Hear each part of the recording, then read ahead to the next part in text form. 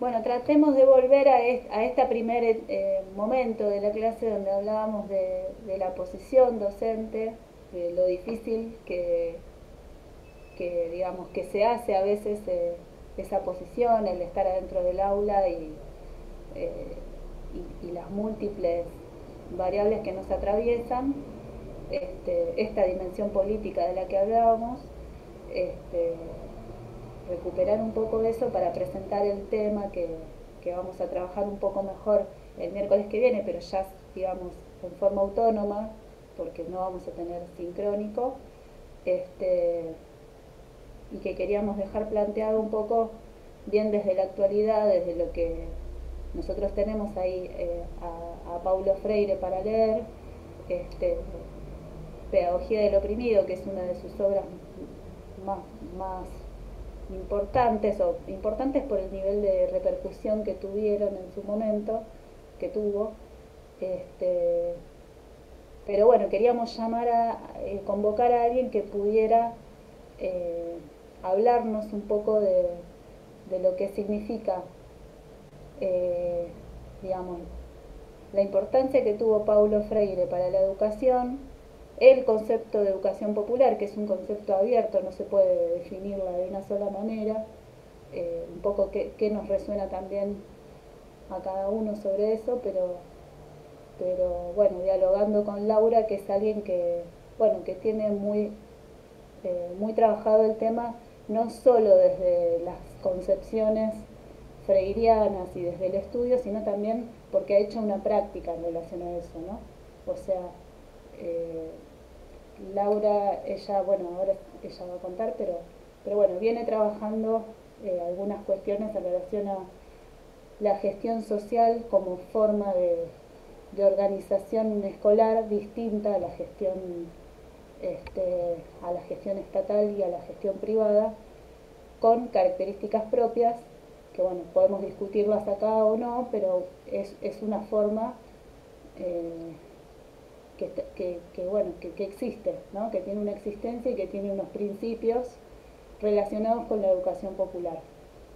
Este, por lo menos yo desde donde, desde, el lugar que la conozco y desde los desarrollos que, que sé que tiene. Así que, bueno, eh, Laura, ¿querés, ¿querés contar un poquito?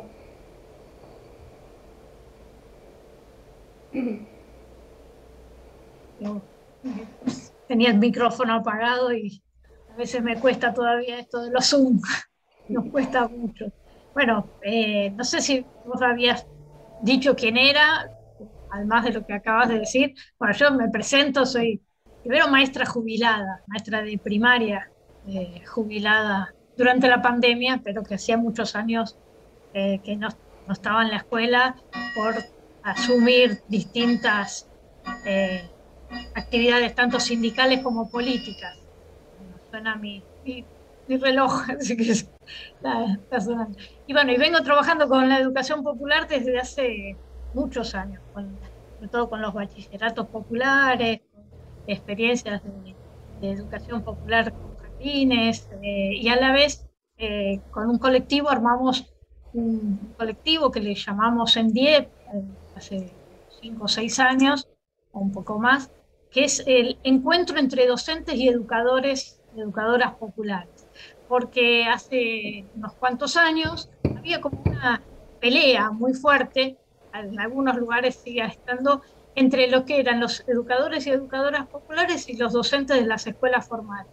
Entonces, cada uno decía, yo soy el mejor, el otro es precario o el otro es el que es el educador popular siempre menospreciaba al maestro de la escuela formal diciendo que era, eh, eran docentes eh, bancarios, cuando tenemos de todo, eh, y los docentes de las escuelas formales tenían también mucho temor a lo que era esta irrupción de los educadores y educadoras populares, y entonces con un colectivo de docentes, sobre todo de profesorados, y con educadores populares armamos este ENDIEP, Encuentro entre Docentes y Educadores Populares. Y armamos bastantes encuentros invitando a educadores populares, tanto de Argentina como del resto de Latinoamérica, para poder reflexionar, dialogar, eh, pensar juntos y juntas eh, qué era la educación popular y cómo una podía auxiliar a la otra. Y que esta, esta, esta guerra o, malestar que había entre ellos se fueran limando. Y la verdad que se fueron limando a lo largo de los, de los años y empezó, empezó a haber una serie de, de actividades de común. De hecho, hay muchísimos docentes eh, y muchísimas docentes de escuelas formales, sobre todo en secundaria, que trabajan en bachilleratos populares, maestras de, de, salas de jardín de las escuelas estatales que también trabajan en espacios comunitarios.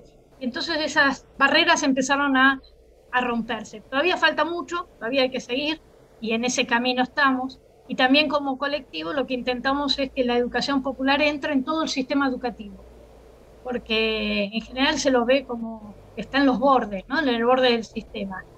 Y, antes de eso yo decía, bueno, ¿qué es para ustedes la educación popular? Pues Inés me pidió que primero contara qué era la educación popular y después que hablara un poquito sobre qué era la educación bancaria y la educación liberadora que habla Paulo Freire en este, libro de Pedagogía del Oprimido, pero que después lo va a desarrollar, va a ir cambiando, va a ir eh, eh, modificándose a sí mismo en, toda la serie de libros que la verdad que las invito a que, que, busquen los libros de Paulo Freire, los puedan leer con, enteros y no por capítulos, eh, que tienen tiene obras que son maravillosas. Hay algunas que son un poquito más duras para empezar a leer, pero, por ejemplo, Cartas para un maestro que quiere enseñar es, una obra maravillosa que se las recomiendo para, para él o aquella, va, en el caso somos todas mujeres, para las que están dando clases todos los días.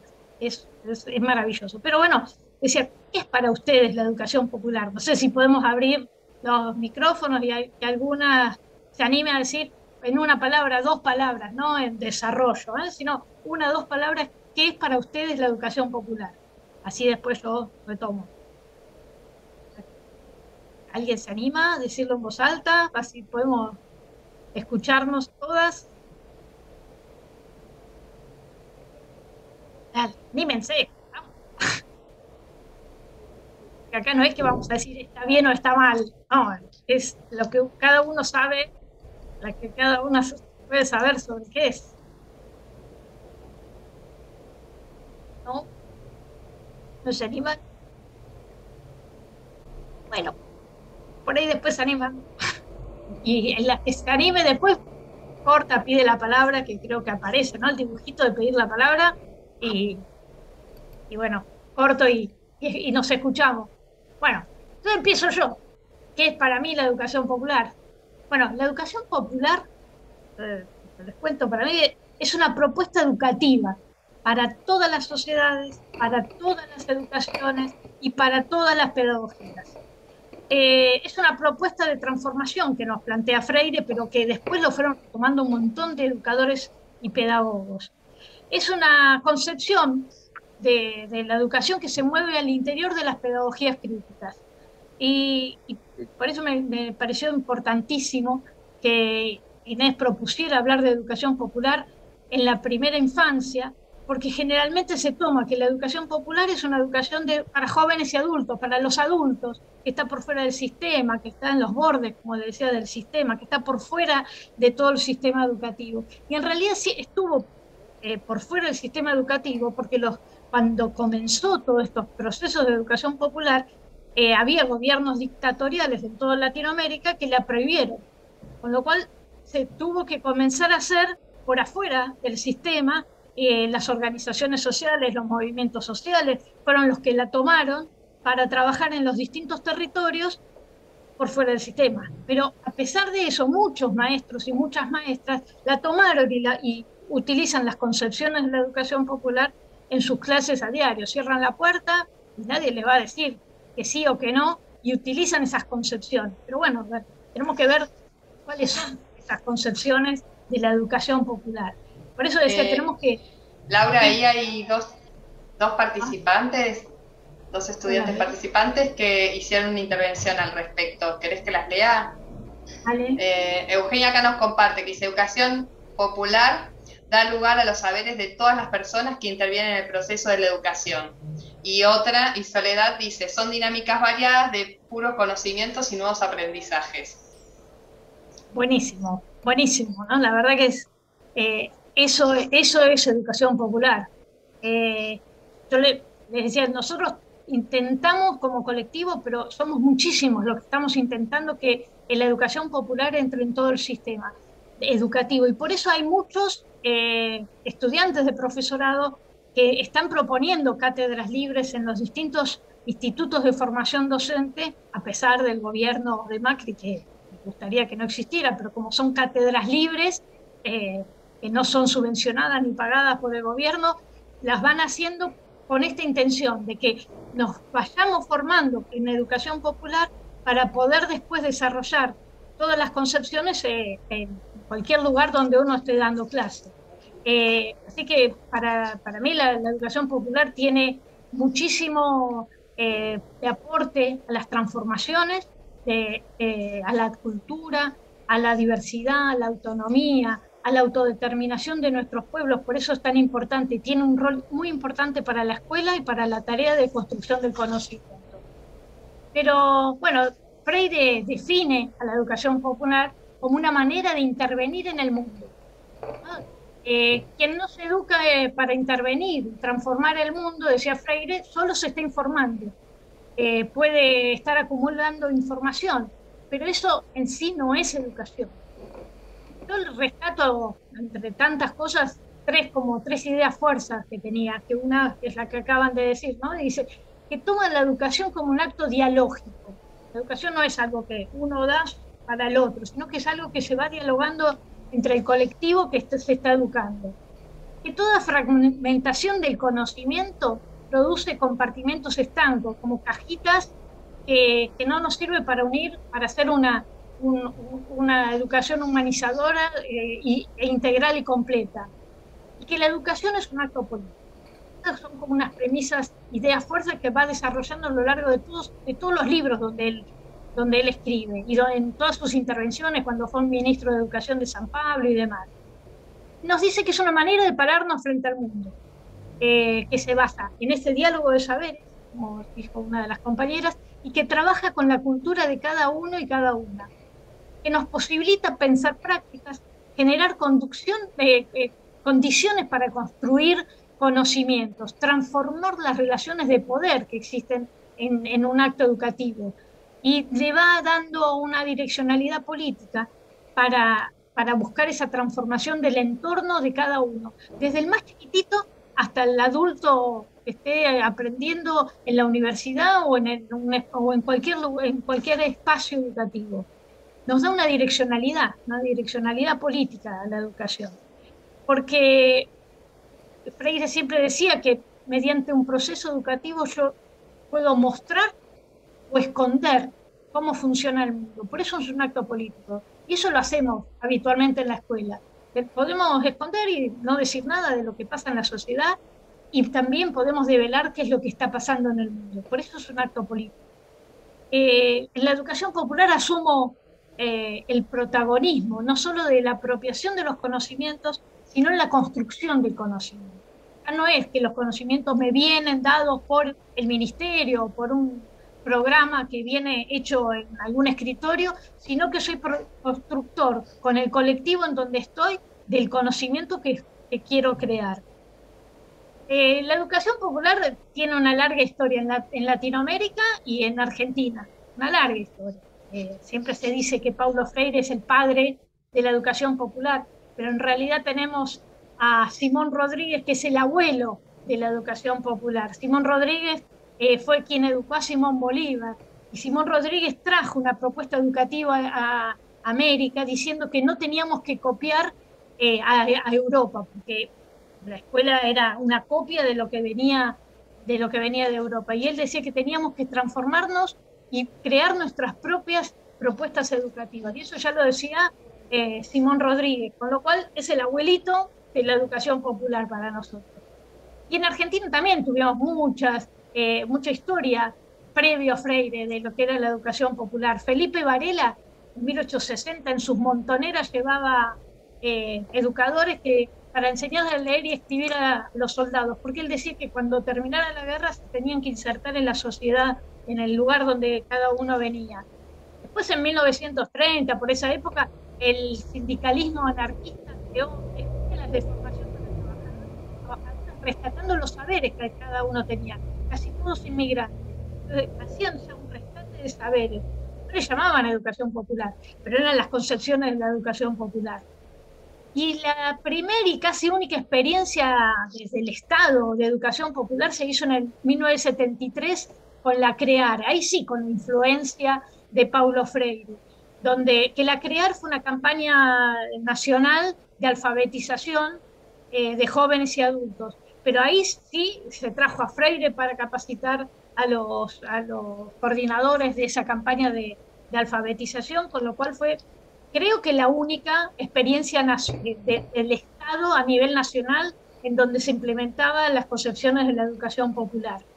a partir, a partir de esa, en esa época, en los años 70, innumerables organizaciones sociales históricamente generaban herramientas para combatir la desigualdad, tomaron a la educación en sus manos desde las perspectivas de la educación popular.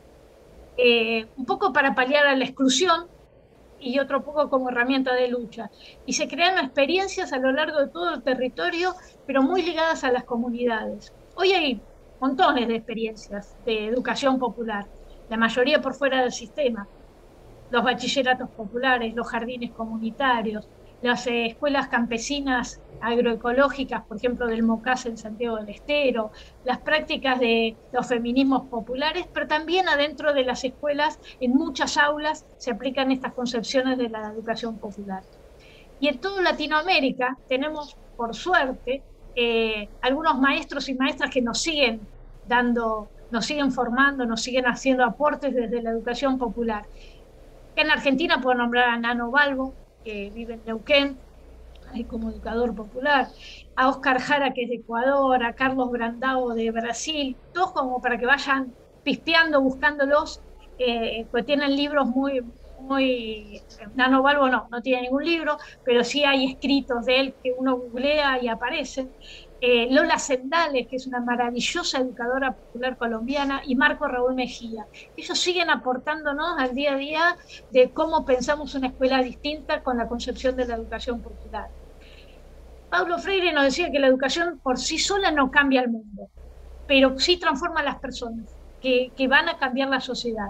Esa es una frase muy conocida de él y es una tarea que la tenemos que hacer todos los días la educación popular es una lectura política de la, de la realidad y que recupera los, los lazos solidarios de la sociedad. Tengo que tener algunas premisas, algunas concepciones, pero ¿cuáles son? Que el conocimiento se construye colectivamente, que todas y todas tenemos saberes, pero que a la vez todas y todos desconocemos algo, por eso siempre estamos aprendiendo. Que es muy importante el diálogo de saberes y el respeto por la cultura de todos los que están involucrados en el proceso educativo y que es importante revalorizar la palabra, la escucha del otro y de la otra y que tenemos que construir espacios de confianza sin jerarquía. Eh, por supuesto que tenemos que tener conocimientos, información, contenidos, pero que requiere de cada una de nosotras una postura no autoritaria, una postura que no sea paternalista en el, hecho educativo, pero sí orientadora, y una postura que sea básicamente democrática. Y Freire nos invita justamente a ser protagonistas de, estos procesos educativos. Esto, todo, esto muy abreviado en qué es educación popular eh, para mí, ¿no? Pero qué es esta transformación que nos sirve para no maquillar más la escuela que tenemos. Hoy la escuela que tenemos no le sirve a nuestro pueblo básicamente y tenemos que, en la maquilla, se la emparcha y nosotros tenemos que generar un diálogo de saberes con todos aquellos que están, no solo con nuestros pares como educadores y educadoras, sino con los chicos y chicas desde, el más chiquitito para poder incorporar sus saberes para construir unos saberes distintos. Tenemos que incorporar eh, las concepciones del vivir del movimiento feminista, de los pueblos originarios, de los movimientos ambientales, en esta forma de hacer educación eh, hoy en día. ¿no? Entonces, poquito, no sé si quedó algo, algo claro sobre qué es educación popular. Y otra de las cosas que me había pedido, bueno, Inés es sobre pedagogía del oprimido. Primero contarle mí muy cortito, pedagogía del oprimido, Pablo Freire lo escribe en 1970 en Chile. ¿Y por qué en Chile? Porque él estaba refugiado en Chile, porque había estado preso, lo habían metido preso en Brasil y después lo expulsaron de Brasil, lo echaron. Eh, ¿Y por qué? Porque él había hecho, eh, en Brasil en la constitución decía que la, eh, para, ser, para poder votar, para poder estar en un padrón electoral, tenías que saber leer y escribir. Y el, todo el nordeste brasileño y brasileño y la, mitad o más de la mitad del país eh, tenía su población que era analfabeta. Entonces él creó no un método, sino que creó una construcción cultural, política y social que permitió que en el nordeste en 40 días eh, aprendieran a leer y escribir y pudieran ser parte de ese padrón electoral. Y eso, por supuesto, hizo que se pusieran los pelos de punta de todo lo que era el gobierno de ese momento. Y ahí primero lo metieron preso, después lo, lo echaron. Y con esas con todo ese trabajo que hizo a lo largo de todo el nordeste brasileño, que con esas concepciones él debatió con sí mismo muchas veces con otros educadores y de ahí salió Pedagogía del Oprimido. Y Pedagogía del Oprimido, él decía que no era para los oprimidos, sino que los, los oprimidos tenían que recuperar su voz, tenían que recuperar su escucha, tenían que recuperar su forma de hacer y que nosotros no teníamos que trabajar para ellos, eh, para recuperarlos, porque no necesitaban ser recuperados de nada, sino que teníamos que buscar las maneras de facilitar para que cada uno de ellos y ellas pudieran recuperar su voz y que fuera escuchada esa voz. Y desde ahí salió Pedagogía del Oprimido. Y ahí eh, Freire plantea eh, como muy fuerte el tema de la educación bancaria y de la educación liberadora. Y educación bancaria, él decía, cuando uno va, porque es bancaria, ¿no? Cuando uno va a un banco, bueno, antes llevaba un cheque, ahora va a la, a la al cajero automático con un, con la tarjeta y saca plata. El cheque te lo, y te lo da. Pero la verdad que esa es una, relación asimétrica, donde la plata la tiene el banco y nosotros tenemos que cruzar los dedos de que nos la den. Bueno, en la, en la educación bancaria pasa algo similar. Los chicos van y chicas van a la escuela y es el maestro es el que sabe, es el maestro el que deposita los saberes, no importa si al pibe le gusta, si era eso lo que quería aprender, si, si es eh, con sus culturas que trae el pibe, sino que es algo que el maestro por sí solo, porque es el que tiene el depositario del saber, se lo mete al chico. Y muchas veces los maestros piensan que cuanto más más eh, contenidos mete, mejor maestro es. Bueno, eso es un poco a lo que llama educación bancaria, ¿no? Eh, el alumno es el que no sabe, el maestro es el que lo sabe todo.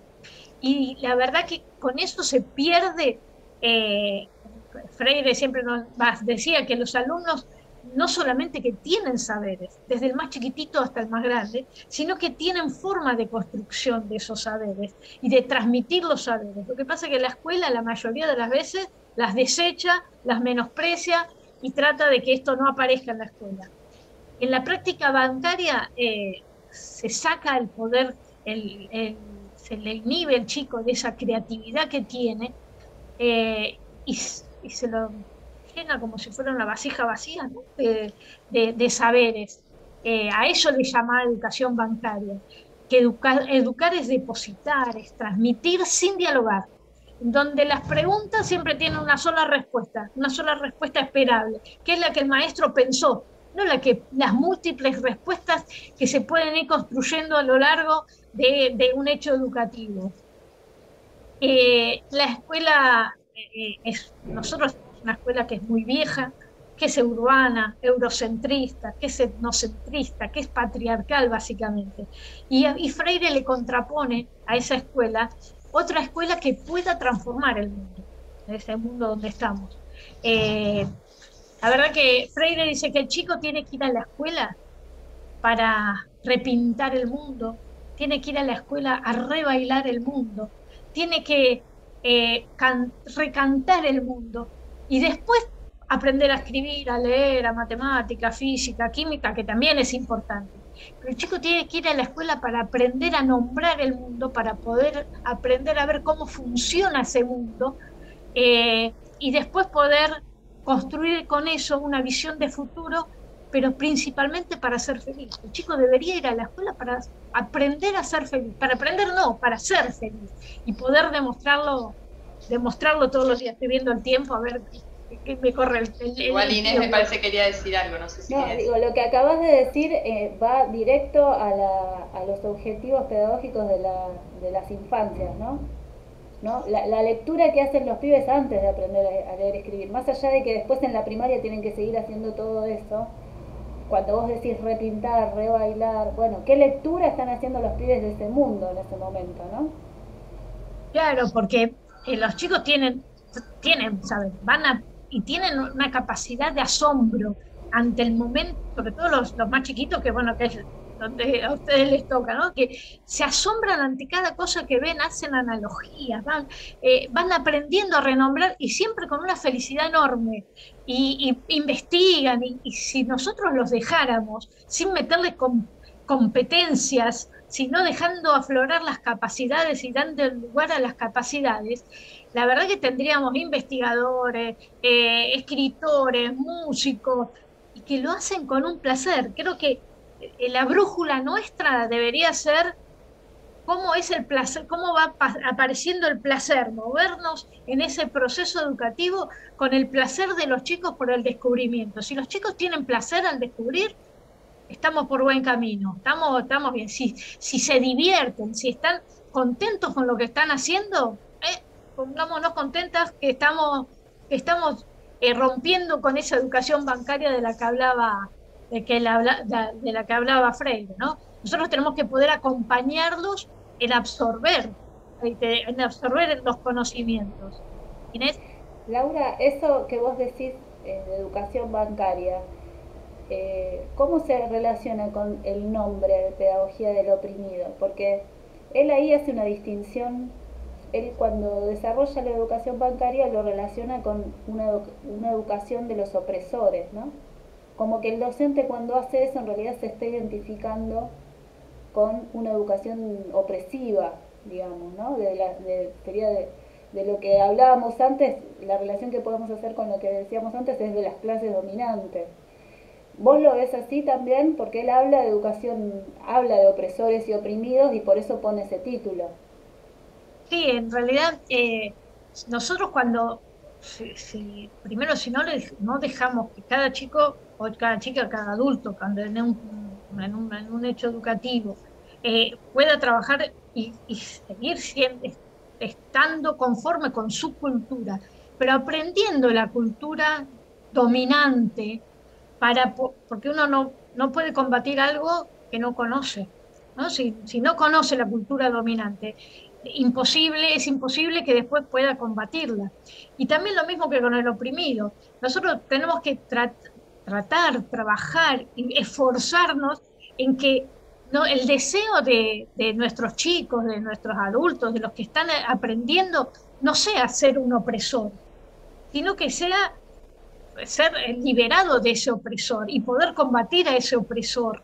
Eh, nosotros tenemos que poder enseñar no a obedecer, sino a, tener un pensamiento autónomo y libre.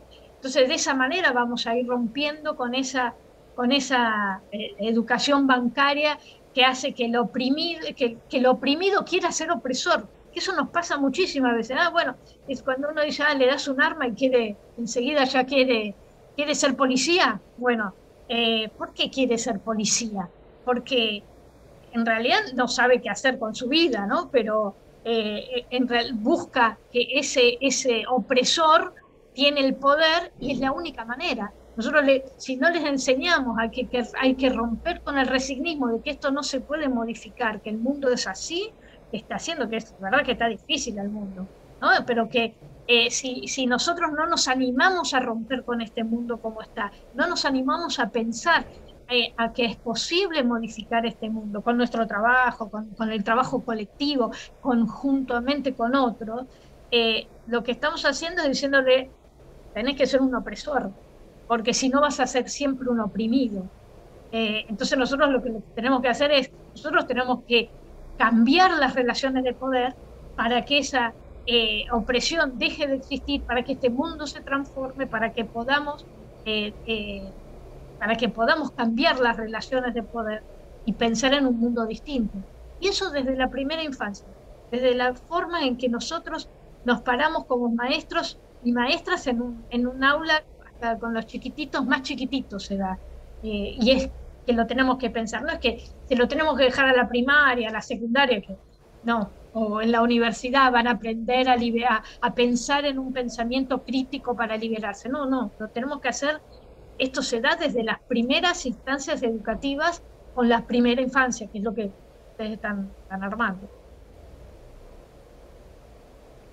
Bueno, ahora sí, ¿no? Y Ari estaríamos como sí sería ahora que quedan unos poquitos minutos, este, interesante como, bueno, generar un intercambio de todo esto que, nos está contando Laura, que como ya les dijimos es, es para seguir viéndolo, ¿no? Pero, pero bueno, mira, acá leo lo que dice el chat, eh, nos pone Sonia, muchas gracias Laura por tu exposición tan cuidada y entusiasta Destaco tu señalamiento acerca del acierto de incorporar educación popular en los estudios y prácticas de primera infancia. Sonia... vamos a ver desarrollos de primera infancia de educación popular, no hoy, pero nos vamos a ver. Hace mucho tiempo trabajamos con Sonia, muchos años atrás, en, la UTE, cuando yo estaba en UTE. nos dijo, nos dijo. Ah, recién ahora puedo ver el chat, no sé por qué no me aparecía. No sé si alguien quiere, porque sé que son aprovechar a, decir algo. Hay mucho, ¿no? Yo me, engancho y, hay mucho para seguir pensando eh, eh, las concepciones, desde las concepciones de la educación popular, cómo nos cómo nos paramos con los pibes, con las pibas, también como decía, desde los chiquititos hasta, hasta, los más grandes, para dar estas posibilidades de ser críticos, autocríticos, de poder eh, pensar en nuestras propias culturas, no desecharlas, pero ponerlas en juego con los otros, ¿no? en cómo, cómo eso va formando conocimientos nuevos como docentes nos paramos, nos obligan siempre a que el diseño curricular viene de arriba, pensado por otros. ¿Cómo armamos nosotros una, una eh, propuesta educativa, una propuesta de construcción de conocimiento que tenga que ver más con los intereses de los pibes y pibas que tenemos a nuestro alrededor? que le sirva a la comunidad en donde estamos. Hoy estamos en la ciudad de Buenos Aires, pero en otro momento puede ser que estemos trabajando en, en otra comunidad y que también bien tengan saberes que, podemos aprovechar para construir unos nuevos conocimientos, ¿no? Yo me quedo con lo que dijiste vos del protagonismo en la construcción del conocimiento. Creo que eso es eh, algo potente en relación a la primera infancia, ¿no? Lo que nosotros eh, propiciamos para la primera infancia, que es el protagonismo en el desarrollo, en el aprendizaje, en la exploración, ¿no? Favorecer, habilitar Ahí hay una mano levantada. Sí, justo iba a comentar eso. Hola, buenas noches a todas. Bueno, nada, pensaba mientras que hablaban en esto de, de la educación bancarizada, ¿no? Actualmente yo estoy trabajando y haciendo suplencias en el gobierno de la ciudad y en escuelas eh, del Estado. Eh, vengo de trabajar muchos años en, centros de primera infancia, entonces es como que me estoy encontrando con un montón de cosas nuevas y pienso en eso, en la falta de escucha muchas veces de los docentes que están hace muchísimos años trabajando en sala, eh, que los mismos pibes te están diciendo, che, quiero trabajar esto, o sea, ¿no? Y, ellos son los que muchas veces te traen los temas a trabajar. Eh, que no es tan difícil si uno pone una escucha activa, ¿no? Eh, que, no va tanto, o sea, se puede adaptar completamente al, diseño curricular, eh, siempre y cuando haya algún contenido que tenga que ver con eso, pero siempre son temas que son recortes de la realidad, no, no, escapa, no escapa de eso, ¿no? pero me parece que falta como aceitar en los docentes eh, esta posibilidad de escucha que traen los niños, eh, que, de las cosas que traen los niños. tenemos que, para poder aprender, tenemos que aprender a desaprender. ¿no? Nosotros fuimos, fuimos educadas en estas concepciones bancarias. Entonces, el primer desafío con nosotras mismas como educadoras es desaprender para poder aprender.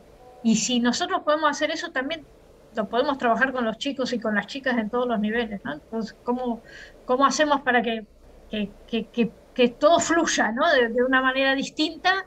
Pero primero nosotras tenemos que, fuimos educadas, y más yo más, que soy más vieja, pero eh, nos educaron de una manera que era totalmente distinta a estas concepciones. Tal sí, sí.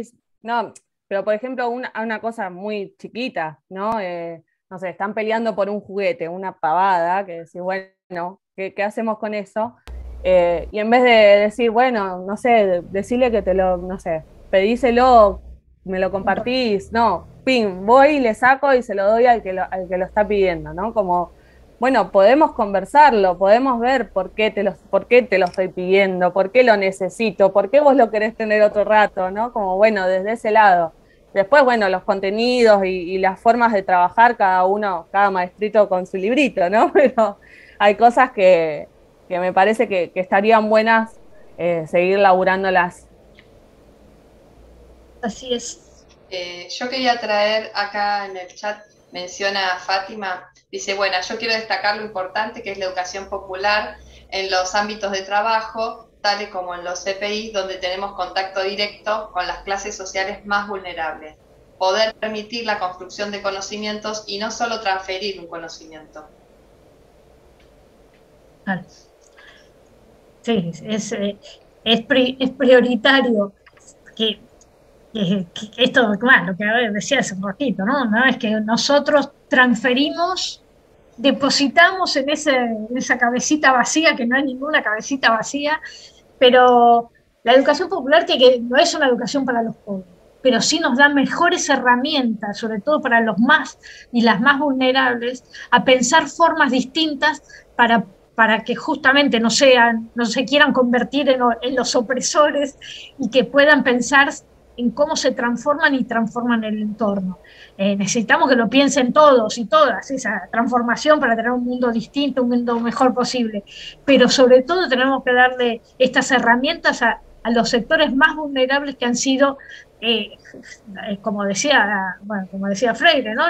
Estos desarrapados del mundo, los oprimidos del mundo, que no necesitan ser rescatados, pero sí tener más, más cantidad de herramientas para poder liberarse a sí mismos y y liberar el entorno donde viven.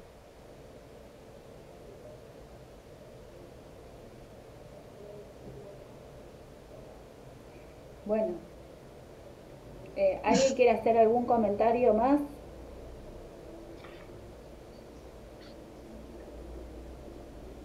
Hola. Yo volviendo al, al, principio, que hablaba de la diferencia entre los educadores y los educadores populares que a nosotros también nos pasa, las que somos docentes de CPI, que nos dicen tipo, trabajás en un CPI como si fuese una mala palabra. Sí, así, es así. Y me sentí como identificada, como diciendo, pero soy igual docente, igual que vos, y hago la misma tarea que vos. Sí, eh, con, con, la misma población, digamos, ¿no? De la misma edad de niños. Chicos, niños de... Chiquitos que, que, van a una institución educativa. Pero claro, eso, nosotros cuando empezamos, yo en realidad empecé a trabajar con, eh, haciendo aportes a los bachilleratos populares, siendo maestra, ¿no? Entonces yo, habiendo sido maestra históricamente de eh, escuelas públicas, estatales, y al principio yo también decía, ah, bueno, pero eso es precarización, hasta que me metí, entre pude, entre, claro, no es precarización, pero no porque quiera el docente o el educador popular que está ahí, sino porque el sistema te lo hace precario. Eh, y, no necesariamente la educación es precaria. Yo siempre digo, bueno, la mejor experiencia de jardín que, que han tenido mis nietos es en el jardín Semillitas, en un centro de primera infancia, y fue maravilloso lo que pudieron transitar, y hoy van a un jardín del Estado, y la, pero llevan adentro todo lo que vivieron en ese jardín, en el jardín Semillitas. Entonces, yo cuando a mí me hablan, no, porque los CPI es, precario, no, no, para, para, para. Primero hay miles de CPI, pero después eh, es precario porque el Estado quiere que sea precario, pero no porque las educadoras o educadores que están allí hacen precaria la educación. Sí, y en relación a eso es también este, la diplomatura y, las concepciones que dimos antes en relación a, Paulo, a, Ponce y ahora a Paulo Freire nos tienen que ayudar a desentrañar por qué estamos parados acá en relación al sistema. O sea, hacer un análisis bueno, un poco más profundo de por qué estas decisiones que nos exceden eh, son las que hoy atraviesan todo el sistema educativo, porque digamos, si estamos luchando en contra de, la reforma del estatuto, tiene que ver también con que quieren fragilizar más el sistema y atarlo más, ¿no? Entonces, digamos, este es el horizonte que se viene para todos, para el que se cree que el CPI es algo que está por fuera de, en realidad estamos adentro de, y estas son las condiciones en las que estamos, con pibes, con una, un sistema educativo que tiene que empezó a fraccionar el sistema en educación para ricos, educación para, para pobres, educación para más pobres, educación, y ya después vienen los que ya directamente se caen y no están en ningún lado, o sea, eso. Entonces, eh, ahí estamos todos incluidos, no hay nadie fuera, adentro, ¿no?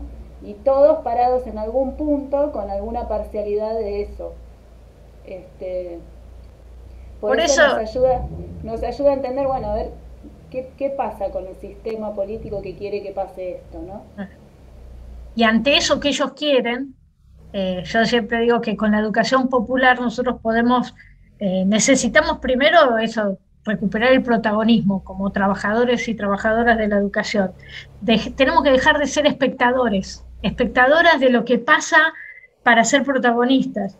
Tenemos que poder recuperar la alegría de enseñar, es algo bellísimo, ¿no? que eh, tenemos que recuperar el compromiso para enseñar, recuperar el deseo de educar y la confianza de que es posible, que es viable poder, eh, poder enseñar, que no hay destinos, como te decían, bueno, los pibes que van a los CPI son los más vulnerables, bueno, pero que no hay destinos prefijados que no se puedan modificar, que el Estado quiere, o sea, que, que hay distintos gobiernos, no el Estado distintos gobiernos que quieren que eso quede así estancado, pero que nosotros tenemos que tener la confianza que educamos para que esto no sea así, para que se cambie esto, que no hay estos destinos sociales prefijados se pueden cambiar. Y tenemos para eso que tener pasión, pasión por educar, pasión por la tarea, pasión que por nuestros los conocimientos que nosotros adquirimos también los podemos eh, poner en juego para que otros puedan tomarlos, aprenderlos y construir esos conocimientos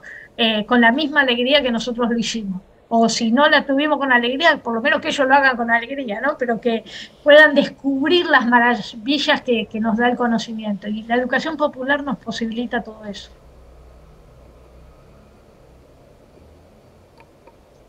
Bueno, Laura, yo te agradezco mucho tu aporte porque eh, poder eh, zambullirnos en Freire con todo tu entusiasmo, eh, que tiene que ver con un entusiasmo militante de muchos años eh, y mucha experiencia y, este, y me parece que nos ayuda, que es un aporte que nos ayuda mucho para este, este comienzo. Acá hay cosas más que quieren decir en el chat. Nosotros estamos pasados del tiempo, pero... Sí. Pero, pero ¿Querés que lo lea? ¿Querés que lo lea el chat? Dale. Dice, y retomando lo conversado, considero que desde nuestro rol y tomando los saberes que los niños, niñas poseen, podemos generar aprendizajes significativos que nos movilicen y nos saquen de nuestras zonas más cómodas, conocidas. Después Soledad dice, en base a todo lo que se planteó, destaco el compromiso de enseñar y cómo bajar determinados contenidos, aprendizajes a los infantes y cómo equipara y llegar a que ellos lo tomen como propio. Está bueno, está bueno. Inés, si te parece, ya estaríamos en horario. Sí. La, podemos despedir a, Laura. Gracias por la invitación y. Gracias a vos por estar. Muchísimas gracias, Laura. El entusiasmo lo contagias. Por lo menos yo me voy sí, entusiasta de, esta primer encuentro sincrónico. Bueno, les agradezco a ustedes. Chao. No sé cómo hago.